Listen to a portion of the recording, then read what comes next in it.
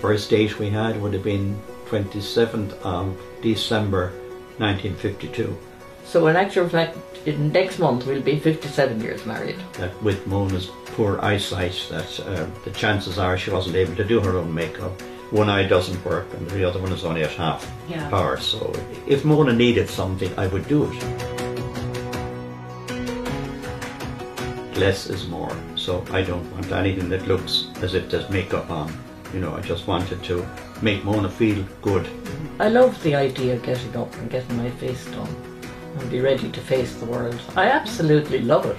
Oh, I'm in heaven. I could sit here now for the rest of the day.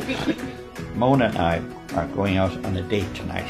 And I just picked number two. So I'm using that all the time now.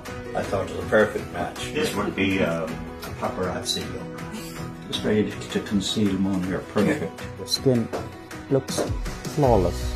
Even Michelangelo would be jealous. But one thing I am conscious of over the last few years is how often we meet up with people where you have a couple and they're looking after one another, still looking out late into life, they're still looking after one another.